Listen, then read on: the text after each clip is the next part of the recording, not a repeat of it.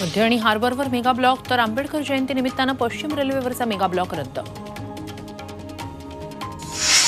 Doctor Babasaheb आंबेडकरांची आज एकशे तेहतीसावी जयंती. अभिवादनासाठी दादरच्या चैत्यभूमीवर भीम अनुयायांची गर्दी.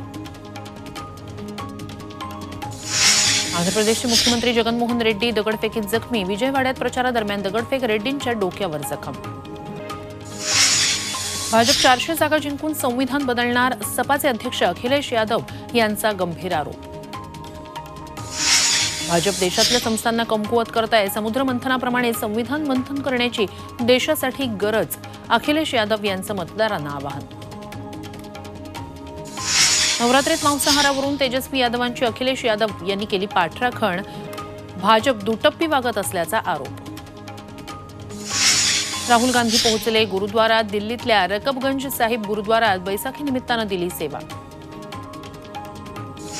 पश्चिम बंगालचे काँग्रेसचे नेते अधीर रंजन चौधरी यांचा टीएमसी कार्यकर्त्यांसोबत वाद बेहरामपूर इथे प्रचारादरम्यानची घटना सीसीटीव्हीत कैद.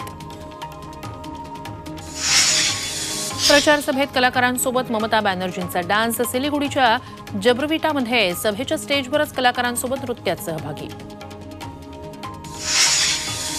महादेव बेटिंग ॲप प्रकरणी अभिनेता साहिल खानची तीन तास चौकशी. पुढील तपासात साहिल खानच्या संबंधित कंपनीचे अकाउंट तपासले जाण्याची शक्यता.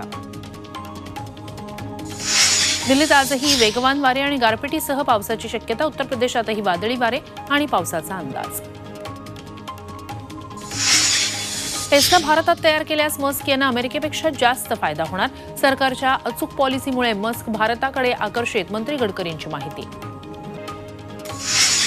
टेस्ला भारतात कमी किमतीत तयार होणार. कनेक्टिव्हिटी ही उत्तम तर पुढच्या पाच वर्षात भारत जगातील पहिला मॅन्युफॅक्चर हब बनणार गडकरींचा दावा.